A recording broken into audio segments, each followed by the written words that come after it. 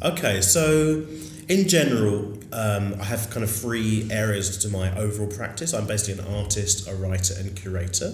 For the show that I'm working on at LUVA, and for my current practice, I've definitely been doing. I've been doing a lot of drawings and a lot of kind of collaged drawings. Basically, the drawings involve researching different museums and different museum archives. I've been looking a lot at um, drill music, and, and I've been taking a lot of um, kind of imagery of predominantly young black men uh, from uh, drill videos. So I've been looking a, a lot at the Benin bronzes, um, often holding weapons. Because a lot, really, a lot of this work is kind of looking at debates and discussions around knife crime. So yeah, that's something I'm, I'm very, very interested in doing it as well.